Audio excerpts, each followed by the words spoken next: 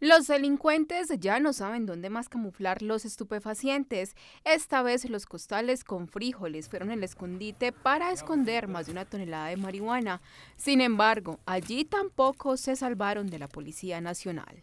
Se incautó, escúchenme bien, una tonelada de marihuana que iba a ser distribuida para todo el área metropolitana.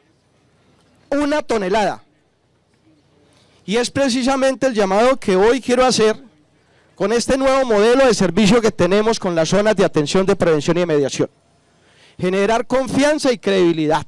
La tonelada de marihuana se halló gracias a la inspección que realizó el Canino Dulce a los costales donde se encontraba esta. Fue el ejercicio que gracias a ese llamado de la comunidad se pudo llegar a una bodega donde se, se almacenaba alimentos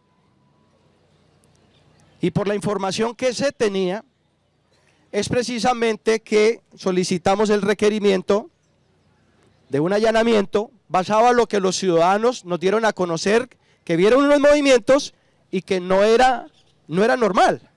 La mercancía estaba evaluada en 862 millones de pesos y se dejó a disposición de la Fiscalía General de la Nación.